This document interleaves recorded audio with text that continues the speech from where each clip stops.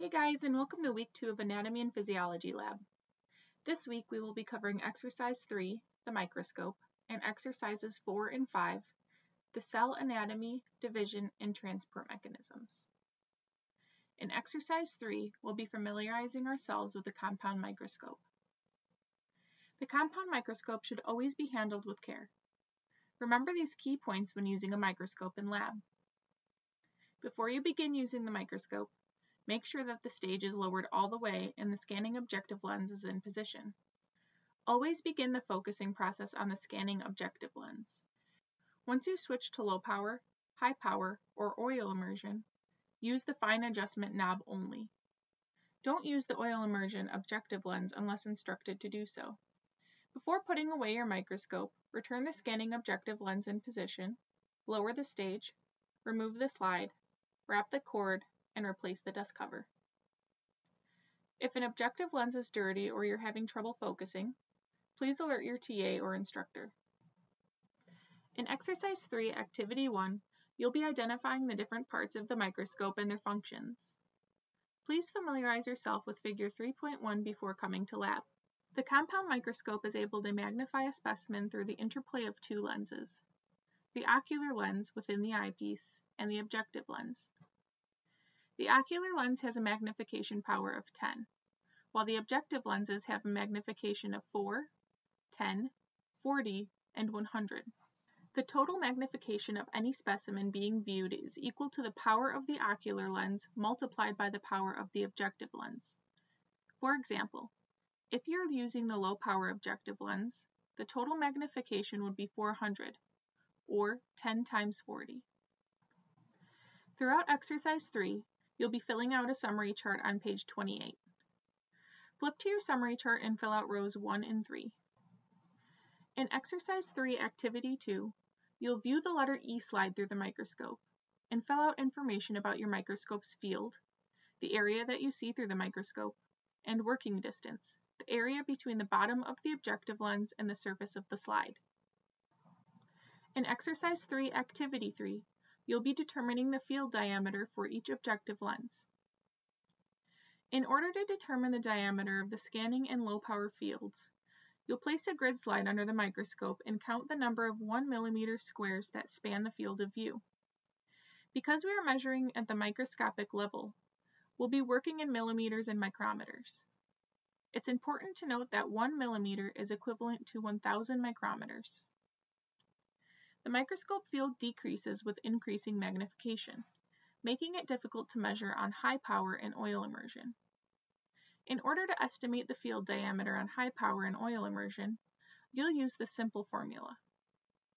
Diameter of field B equals diameter of field A times total magnification of field A divided by total magnification of field B where A represents the known or measured field and B represents the unknown field. For example, if the diameter of the low power field, field A, is 2 millimeters and the total magnification is 50, the diameter of the high power field, field B, with the total magnification of 100 would be 1 millimeter. In exercise 3, activity 4, You'll be viewing colored threads under the microscope to better understand depth of field. In Exercise 3, Activity 5, you'll be preparing and observing a wet mount of cheek cells. In Exercise 4, we'll be reviewing cell anatomy and division. In general, all animal cells have three major regions that you'll be able to identify with a compound light microscope.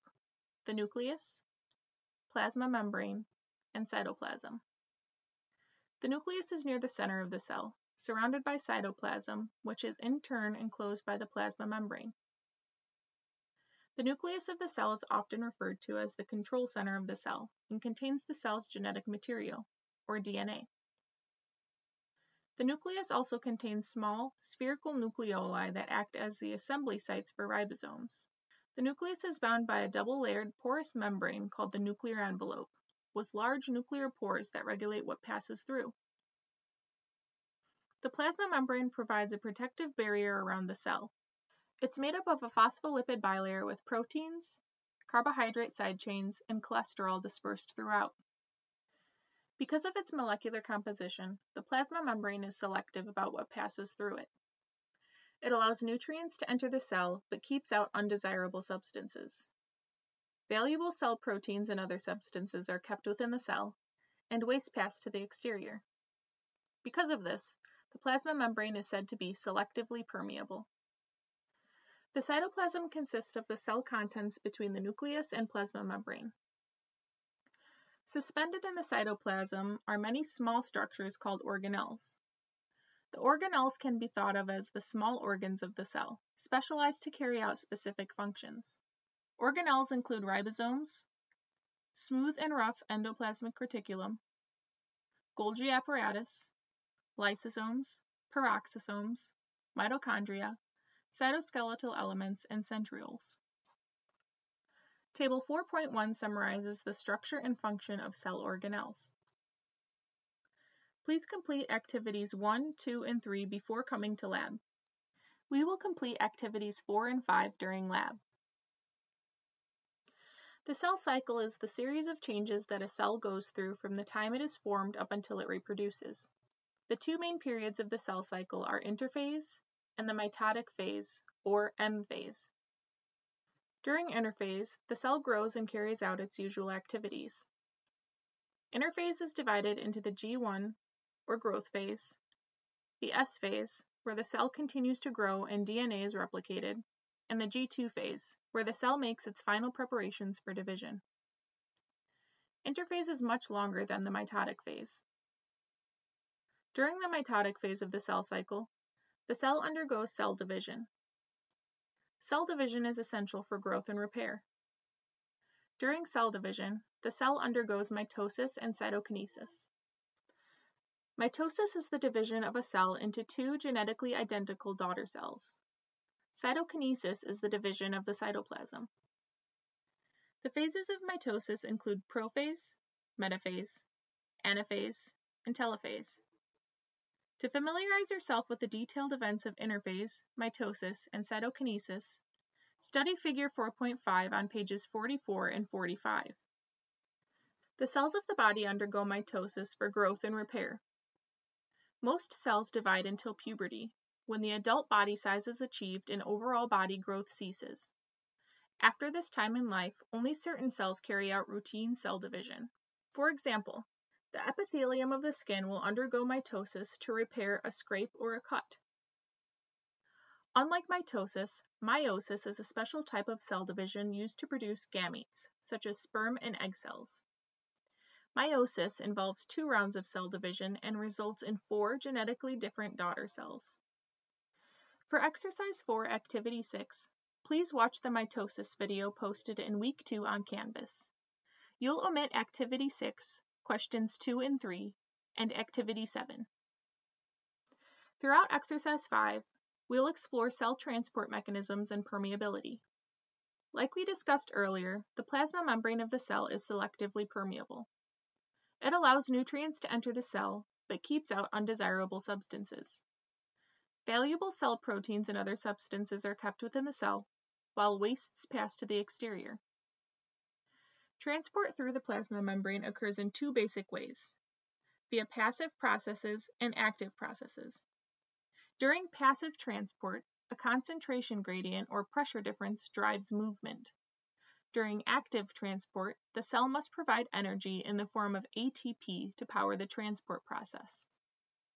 Two important passive processes of membrane transport are diffusion and filtration.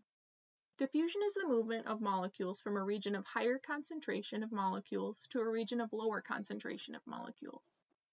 If you were to place a highly concentrated drop of dye in a glass of water, you would be able to observe the movement of dye down its concentration gradient, from an area of high concentration of dye to an area of low concentration of dye. If left undisturbed, the dye would eventually become evenly distributed throughout the glass of water. The rate of diffusion depends on molecular size and temperature.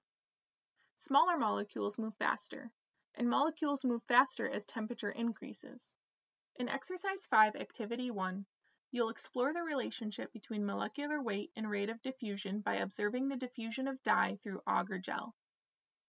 In Activity 2, we'll observe the diffusion of dye through water with a class demonstration. The flow of water across a selectively permeable membrane is called osmosis. During osmosis, water moves down its concentration gradient. The concentration of water is inversely related to the concentration of solutes, or dissolved substances, in a solution. In other words, water will move from an area of lower concentration of solutes to an area of higher concentration of solutes. Tonicity refers to the relative solute concentrations of two environments separated by a semipermeable membrane. By comparing the tonicity of two solutions, you can determine the direction in which osmosis will occur. Keep in mind that water can cross the plasma membrane of the cell, while many solutes, such as sodium chloride, are not able to cross. To demonstrate how tonicity affects the cell, we will place a red blood cell in three different solutions an isotonic solution, a hypertonic solution, and a hypotonic solution. In an isotonic solution, the concentration of solutes in the solution outside of the cell is equal to the concentration of solutes inside of the cell. If we place a blood cell into an isotonic solution, water will move freely into and out of the blood cell, and the size of the cell will remain unchanged. A 0.9% sodium chloride solution, or physiological saline, is isotonic to red blood cells.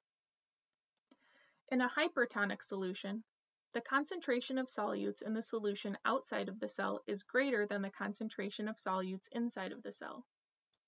If we place a red blood cell into a hypertonic solution, water will flow down its concentration gradient and rush out of the cell.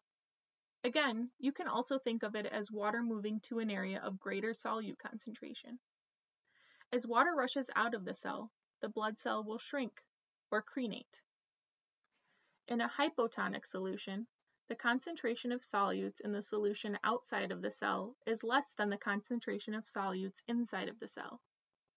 If we place a red blood cell into a hypotonic solution, water will flow down its concentration gradient and rush into the cell. As water rushes into the cell, the red blood cell will swell. In some cases, the red blood cell will burst. This phenomenon is called hemolysis. In Activity 5, Experiment 1, you'll place an egg into a hypertonic solution of 30% sucrose and a hypotonic solution of distilled water. You'll track the egg's weight change over time. Based upon the discussion we just had, what do you think will happen to the egg when placed in each solution? In Activity 5, Experiment 2, you'll conduct a microscopic study of red blood cells when suspended in physiological saline, distilled water, and a 5% sodium chloride solution. Again, based on our discussion, what do you think will happen to the blood cells when placed in each of these solutions? You will be omitting exercise 5, activities 3, 4, 6, and 7. Although we are omitting some activities, you'll still be responsible for reading and studying the information on active processes on pages 59 and 60. A few reminders as we enter the second week of Anatomy and Physiology Lab. Be sure to take your pre-lab quiz on Canvas the day before your lab. Complete your reviews for exercises 1 and 2 before coming to lab. Bring your masks and face shields to lab and wear closed-toed shoes. Complete the following activities in exercises 3, 4, and 5 before coming to lab this week. Exercise 3, Activity 1, and Exercise 4, Activities 1, 2, 3, and the mitosis video on Canvas.